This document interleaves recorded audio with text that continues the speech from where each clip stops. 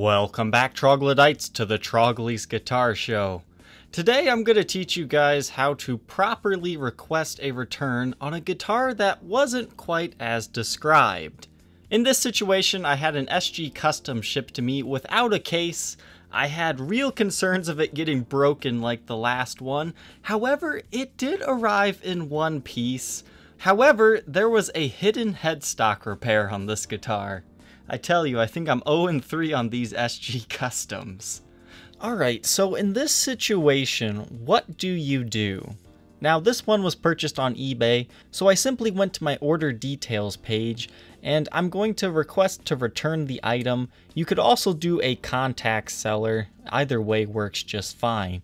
A do not is leave negative feedback, because as soon as you open fire against the seller, their willingness to help out usually decreases a lot give them the benefit of the doubt regardless of the situation. Now for the return reason, I usually go doesn't match description or photos. And then you're gonna wanna write a message to the seller that isn't accusatory. Don't say, you didn't disclose this headstock repair, you're terrible, send me a return label. Don't do that it makes the situation really awkward for the seller. Now, they could be a scammer trying to pull one over on you, or they really just might not have known. So you want to be as polite as possible.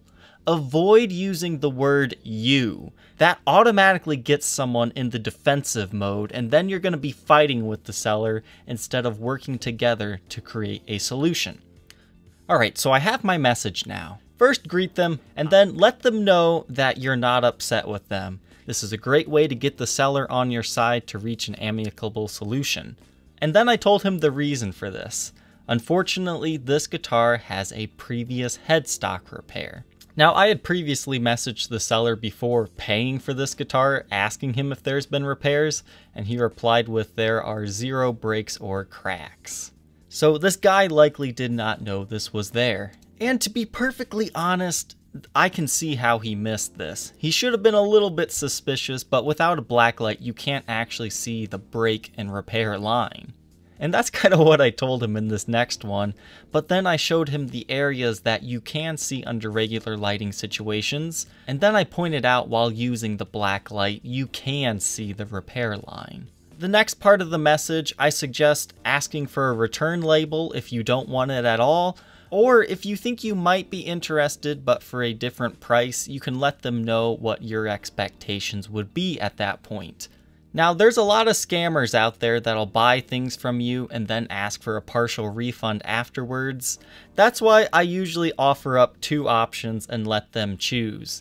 I can either return it and they can sell it again knowing full well what the guitar is, or if they're just done with it and they want to take a reduced value for it, I'm also cool with that. If a seller's a good guy, they're apologetic instantly, I'll usually actually help them sell the guitar. That's a win in my book, because I still get to review the guitar, people still get to see it, and then somebody gets an awesome player's grade guitar. And the most important thing is attach photos. eBay lets you do 10, you could do as many as you want on Reverb or send additional through messages, but don't just say, yeah, there's a break or a crack or there's a twist in the neck. Describe it with photos because as a seller, I hate it when people say there's an issue with the guitar and they can't prove it with photos. Because most times the sellers don't know there is an issue with the item, so it helps for them to visualize it Something else that's also good is to get the serial number in the photo if you can. That way you can prove it's the same guitar. That's another common scam. They'll buy the guitar and they have a similar broken guitar that they'll send you photos of in order to get money back. So I'm going to go ahead and send this request to the seller and see what happens. Sometimes guys are nice and apologetic, sometimes they get rude and defensive, and it's a pain in the butt. It's my least favorite part of doing all this. Alright, so I initially sent that request late on a Friday. Now please keep in mind, a lot of times when you buy a guitar online, it might be a business you're buying it from, and a lot of businesses don't operate on the weekends. So give them three or four days to give you a response. If you don't hear from them after three business days, well, you're probably going to have to fight to get it to be returned and have eBay get involved. But in this situation, the next business day, they got back to me, they accepted the return. They didn't say anything about the whole situation, they just sent me the return label, so I sent it back to them. Now, if you ever have a seller wanting you to pay the return label, don't accept that.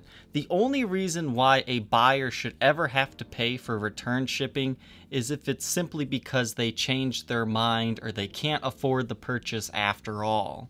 So I packed the guitar up the same way they sent it to me. I shipped it back to them. They got it. They ended up relisting this guitar saying it might have a headstock repair that kind of made me upset because it clearly has a headstock repair, but at least now the buyer knows there is a possibility of it. So I hope you learned how to properly handle this situation. Basically, treat others how you want to be treated. Be respectful and polite, give them the benefit of the doubt until proven otherwise, and then hopefully you can get it returned and that headache will be out of your life. Thank you for watching Troglodytes. Don't forget to like, comment, and subscribe, and we will see you tomorrow on the next episode. Take care.